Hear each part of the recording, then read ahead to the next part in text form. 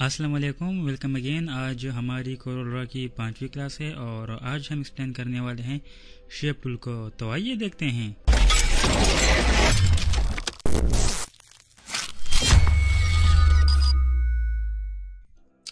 और राइट यहाँ पर अगर आप देखें तो पिक टूल के नीचे आपको शेप टूल नज़र आ रहा है और शेप टूल के अंदर फिर और भी बहुत सारे टूल्स मौजूद हैं। लेकिन सबसे पहले हम शेप टूल को एक्सप्लेन करेंगे। शेप टूल को एक्सप्लेन करने से पहले मैं आप लोगों को ये बताऊँ कि शेप्स ठीक है?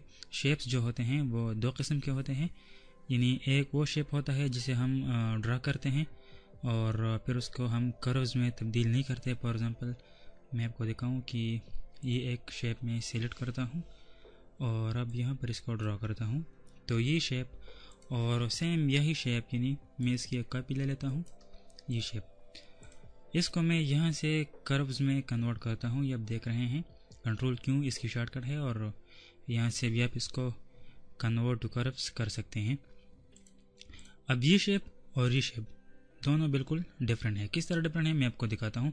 ये मैं शेप टूल सेलेक्ट करता हूँ और आकर यहाँ क्लिक करता हूँ। ठीक है?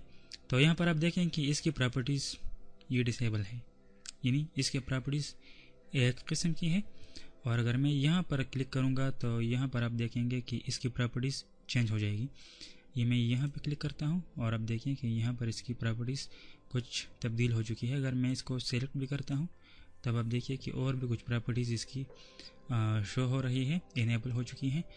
तो ये ऑब्जेक्ट बेसिकली और ये ऑब्जेक्ट डिफरेंट है ठीक है? इस ऑब्जेक्ट में और इस ऑब्जेक्ट में चेंजेस हैं यानी ये अलग एक किस्म का ऑब्जेक्ट है अब, और ये एक अलग किस्म का ऑब्जेक्ट है। ठीक है? ओके तो होप आप लोगों ने शेप्स के बारे में फ़र्क जाना होगा कि दो किस्म के शेप्स होते हैं। एक को हम कर्व्स में तब्दील करते हैं और एक को हम कर्व्स में तब्दील नहीं करते। आज की क्लास में हम शेप टूल का काम उस शेप पर एक्सप्लेन करेंगे जो कर्व्स में तब्दील नहीं होते। फॉर एग्ज़ाम्पल यहाँ से मैं एक शेप बना लेता हूँ। ये मैं फॉर एग्ज़ाम्पल मैं स्टार को सेलेक्ट करता हूँ। यहाँ पर एक स्टार ड्रा करता हूँ। अब इसको मैंने कर्व्स में तब्दील नहीं किया हुआ है। यहाँ पर आप देख सकते हैं कि अभी तक ये कर्व्स में तब्दील नहीं है। जब ये कर्व में तब्दील हो जाएगा तो फिर ये ऑप्शन डिसेबल हो जाता है, ठीक है? अगर मैं यहाँ पर इसको कर्व में तब्दील करता हूँ और अब अगर यहाँ पर क्लिक करता हूँ तो ये देखिए, अब हमें मालूम होना चाहिए कि ये ऑब्जेक्ट अब कर्व्स में तब्दील हो चुकी है। सही है? और ये वाला जो ऑब्जेक्ट है, अब ये कर्व में तब्दील नहीं है, ठीक है? तो इसके साथ अब हम क्या कर सकते हैं, शेप टूल की मदद से मैं आपको दिखाऊँ। ये मैंने शेप टूल सेलेक्ट कर लिया, यहाँ पर आकर क्लिक किया, और अब इसको मैं इस नोट से, किसी भी नोट से, इससे या इससे, जहाँ पर आपको नोट नज़र आ रहा है, यहाँ से आप इसको क्लिक करके मूव करेंगे तो इस ऑब्जेक्ट में चेंजेस आपको नज़र आने लगेगी, ठीक है? ये मैं इसको यहाँ से नीचे की तरफ़ लेकर आता हूँ। तो ये अब देखिए कि स्टार की जो लिक्स है वो पतली होती जा रही है। जितना मैं इसको अंदर की तरफ़ लेकर जाता हूँ तो ये बारीक होता जाएगा, ठीक है? और अगर मैं इसको यहाँ से यहाँ तक लेकर आऊँ तो ये और भी थिकनेस की तरफ़ जा रहा है ये ऑब्जेक्ट ठीक है? मैं इसको यहाँ पर लेकर आता हूँ और एक खूबसूरत सा इफ़ेक्ट मैं आपको बना कर दिखाता हूँ इससे, ठीक है? यहाँ पर आकर एक और मैं ऑब्जेक्ट लेता हूँ। इसको मैं ब्लैक के साथ फिल करता हूँ। और ये जो ऑब्जेक्ट है, इसकी मैं फिलिंग करता हूँ वाइट के साथ। और ये ब्लैक आउटलाइन में इसकी रिमूव करता हूँ, ठीक है? अब इस सब्जेक्ट को मैं यहाँ पर लेकर आता हूँ, क्योंकि ये अब लेयर के नीचे हैं। इसको हम शिफ्ट पेज अप के साथ ऊपर लेकर आते हैं। और अब आप देखें, ये एक लाइटिंग की इफ़ेक्ट पैदा करेगी अब, ठीक है? इसको हम यहाँ से मॉडिफाई करते हैं चेंजेस इसके लिक्स के साथ करते हैं। ये देखिए, एक बहुत खूबसूरत सा ऑब्जेक्ट मौजूद है अब, ठीक है? इसकी अगर हम कापी ले, इसको छोटा बड़ा कर सकते हैं, ठीक है? यहाँ पर एक बना लें। तो इस किस्म की चीज़ें हम बना सकते हैं स्टार वाली शेप्स के साथ। इसके अलावा और भी बहुत सारे शेप्स हैं जिनके साथ हम इस किस्म के इफ़ेक्ट्स बना सकते हैं और ये कमाल शेप टूल के साथ हो सकता है, ठीक है?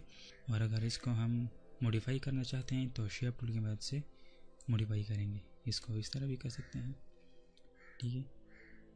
कलर भी हम इसमें चेंज कर सकते हैं। एक और ऑब्जेक्ट हम इसको कॉपी कर लेते हैं। एक और अबिट इसकी बन जाएगी। इसको हम कॉपी कर लेंगे और मैं यहाँ पर इसको फिल करता हूँ, ठीक है? और थोड़ा सा इसको मैं रोटेट करता हूँ इस तरह। ये एक और शेप इसकी बन गई, ठीक है?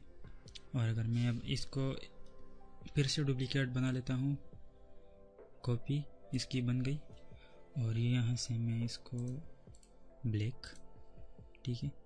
ये वन वाइट रेड तो इस किस्म की शेप्स हम बना सकते हैं। ठीक है? आते हैं एक और शेप की तरफ़, ये मैं रिमूव करता हूँ। और यहाँ पर मैं एक और शेप ले लेता हूँ। ये रहा ये कम्प्लेक्स स्टार और यहाँ पर मैं इसको ड्रा करता हूँ। एज़ यूजल मैं इसमें भी फिलिंग करता हूँ। वाइट कलर के साथ मैंने इसको फिल किया। अब यहाँ शेप टूल सेलेक्ट कर लेता हूँ और किसी भी नोट से मैं इसको पकड़ लेता हूँ, ठीक है? किसी भी नोट से, यानी यहाँ पर आपको जितने भी नोट्स नज़र आ रहे हैं, आप जिस नोट से भी इसको पकड़ेंगे, ये सेम वही काम करेगा, ठीक है? ये मैं इस नोट से पकड़ता हूँ और इसको मैं रोटेट कर रहा हूँ। ये फॉर एग्ज़ाम्पल चलो इस तरह, एक शेप ये आप इसकी सेंटर को देख सकते हैं कि किस कदर खूबसूरती के साथ इसकी अरेंजमेंट हो चुकी है अब। इसको भी हम फिल कर सकते हैं। लेकिन याद रहे कि ये जो ऑब्जेक्ट है, ये इस वक्त कॉर्ब्स में तब्दील नहीं हो चुकी है, ठीक है? यानी ये विदाउट करब हम इसके साथ ये प्रोसेस कर सकते हैं। अगर ये ऑब्जेक्ट करब में तब्दील हो जाए तो फिर ये प्रोसेस हम नहीं कर पाएँगे। ये देखिए, मैं इसमें मज़ीद चेंजेस बनाना चाहता हूँ। ये अभी यहाँ से छोटा बड़ा हो रहा है और ये देखिए। सही है? तो उम्मीद है आप लोग समझ रहे होंगे कि किस तरह से हम शेप्स को मॉडिफाई कर सकते हैं, हम शेप्स में चेंजेस लेकर आ सकते हैं, इसके साथ हम और भी काम कर सकते हैं। इसकी भी कापीज़ अगर ले ली जाए, इस तरह मैं इसकी कापी लेता हूँ और इसको रोटेट करता हूँ इस तरह। और फिर इसको मैं वेट ठीक है? तो ये शेप्स खूबसूरत बनता जाएगा जितना हम इसके साथ मज़ीद प्रोसेस करेंगे। किसी नोट से मैं पकड़ कर इसको चेंज कर लेता हूँ, ये शेप ही चेंज करता हूँ मैं। इस तरह की कोई चीज़ इसके अलावा अगर ये इस तरह की कोई चीज़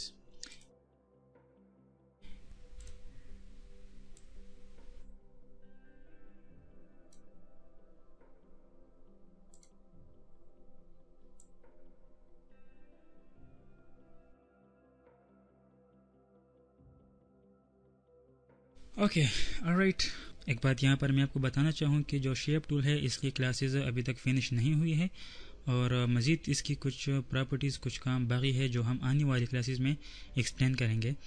और शेप वाली टूल का जो क्लास है क्लास नंबर फाइव इसको हम पार्ट्स में तकसीम करेंगे। यानी फाइव क्लास में फिर part one part two part three तरह जितने भी पार्ट्स बने तो उनमें हम इसको तकसीम करेंगे। और इस तरह शेप टूल क्लियरली सामने आ जाएगा कि क्या क्या हम इस टूल के साथ कर सकते हैं। तो उम्मीद है ये क्लास आपको पसंद आई होगी। अगर पसंद आई हो तो प्लीज़ लाइक भी कीजिए और सब्सक्राइब नहीं किया है तो